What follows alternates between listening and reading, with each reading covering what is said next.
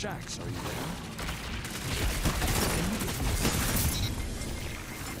there? Stop yelling. It's just a question.